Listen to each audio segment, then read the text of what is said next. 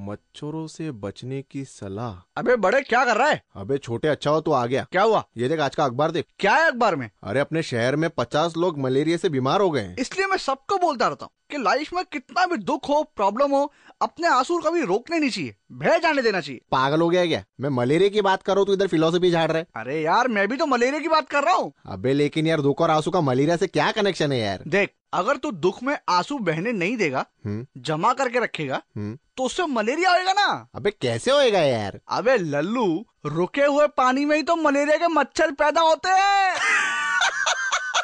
अबे बकवास बंद कर।